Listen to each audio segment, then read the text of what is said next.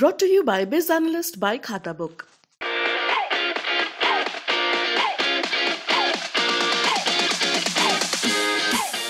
जिस तरह का ये प्रचार हुआ है, शायद ही उत्तर प्रदेश ने ऐसा चुनाव देखा होगा, जहाँ भारतीय जनता पार्टी का जो नेता उत्तर प्रदेश में आया, उसने झूठ बोला जो भारतीय जनता पार्टी के, आज तो सबके भाषण आपके पास हैं, जो उन्होंने कहा है वो सबके पास है इतना झूठ बोलने का और इतने बड़े पैमाने पे झूठ बोलने वाली पार्टी कोई नहीं होगी जो उत्तर प्रदेश में इस चुनाव में किया।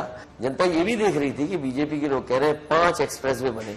मुझे बताए कि कहाँ पाँच एक्सप्रेस वे बने हुए हैं? इसलिए जनता ने अपने बुनियादी सवालों पर ही वोट दिया उत्तर प्रदेश का चुनाव सात चरण और हमारे साथ मौजूद है इस वक्त उत्तर प्रदेश के पूर्व मुख्यमंत्री और समाजवादी पार्टी के अध्यक्ष अखिलेश यादव जी। बहुत स्वागत है अखिलेश जी आपका। सात चरण का चुनाव, पहला सवाल हाउस द जोश? सात चरण में और सातवें चरण में पूर्वांचल की जनता, भारतीय जनता पार्टी का पूरी तरीके से सफाया कर दी पहले, दूसरे, तीसरे, चौथे, पाँचवें, छठवें चरण में और आज सातवां समाजवादी पार्टी और गठबंधन की बहुमत की सरकार बनने जा रही है। अखिलेश जी, सत्रह में भी आपने एक्सटेंसिव कैंपेनिंग की, इस बार भी आपने, आपको क्या लगता है सत्रह की और इस बार की कैंपेनिंग में आपने जो करी, उसमें क्या फ़र्क था? सत्रह की कैंपेनिंग में भूल चुका हूँ, उन्नीस की भूल गया हूँ, लेकिन जिस तरह का ये प्रचार हुआ है, शायद ही उत्तर प्रदेश ने ऐसा चुनाव देखा होगा, जहाँ भारतीय जनता पार्टी का जो नेता उत्तर प्रदेश में आया, उसने झूठ बोला।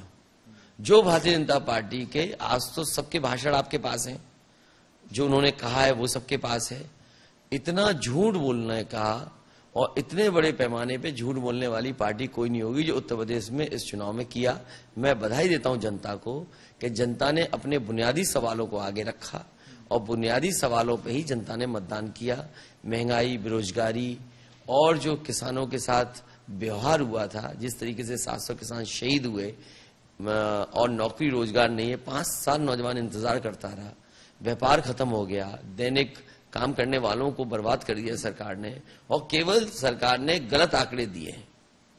इसलिए इस बार जनता ने अपने बुनियादी मुद्दों पे ही वोट डाला है। एक तरफ़ अखिलेश यादव थे एक तरफ़ दिग्गज नेता भाजपा के तीन चार पाँच बड़े नेता थे। आपको लगता है अकेले आप खड़े थे? क्या इसका इम्पैक्ट इस पर पब्लिक पर पड़ा और सपा को इस बार जनता ने क्यों वोट किया? समाजवादी पार्टी पूरे के पूरे हमारे नेता कार्यकर्ता कैडर चुनाव लड़ रहा था।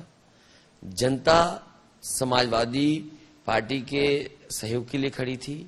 और असली बात यह है कि लोकतंत्र में जनता तय करती है और जनता इस बार भारतीय जनता पार्टी के खिलाफ थी। जनता को सबसे ज़्यादा धोखा, सबसे ज़्यादा झूठ बोलने का काम भारतीय जनता पार्टी ने किया। ये उन्होंने नहीं बताया कि डीजल, पेट्रोल क्यों महँगा हुआ। खाद में से, बोरी में से चोरी होगी, ये नहीं, बीजेपी ने बताया। जब पिछली बार सिलेंडर दिया था इन्होंने, तब कीमत सिलेंडर की क्या थी? आके आज एक हज़ार रुपए क्यों हो गया? जो इन्वेस्टमेंट की बात की थी इन्होंने कि चार लाख करोड़ आ जाएगा पैसा। डिफेंस एक्सपो की बात की, इन्होंने कहा यहाँ मिसाइल बनेंगी, इन्होंने कहा बम बनेगा। लेकिन लोगों ने देखा कि इन्होंने माचिस की तिल्ली तक यहाँ नहीं बनाई। और झूठ बोलने के लिए इन्होंने कहा मिसाइल बनेंगी उत्तर प्रदेश में। तो ये तमाम सवाल जनता के बीच में थे। जनता ये भी देख रही थी कि बीजेपी के लोग कह रहे हैं, पाँच एक्सप्रेस वे बने। मुझे बताए कि कहा पाँच एक्सप्रेस वे बने हुए हैं? इसलिए जनता ने अपने बुनियादी सवालों पे ही वोट दिया है।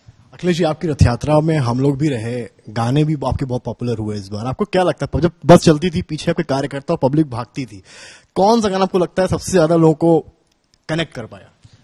समाजवादी पार्टी के जितने गाने बने हैं मैंने कोई गाना नहीं बनाया। जो कार्यकर्ता नेताओं ने बना करके दिया या किसी आर्टिस्ट ने बना के दिया वो मैंने चलाया। इस, मैं इस बात को चाहता था कि जो जनता को पसंद है वो मैं गाना चलाऊँगा।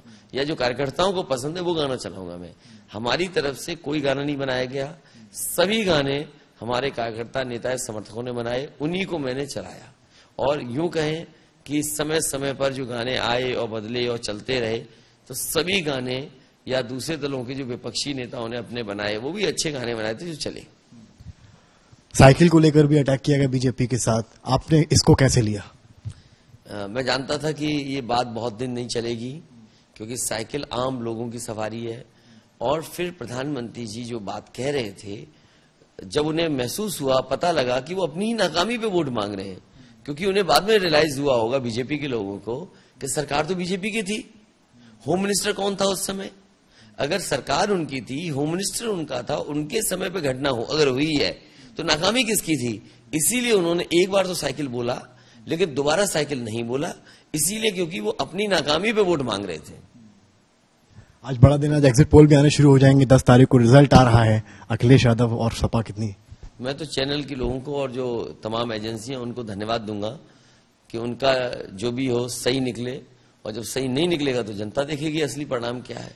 जो असली परिणाम है समाजवादियों ने जो टारगेट फेस किया था 400 सीटों का। मुझे ये उम्मीद है आज। कि 300 सीटें गठबंधन समाजवादी पार्टी के साथ जीतने जा रहा है।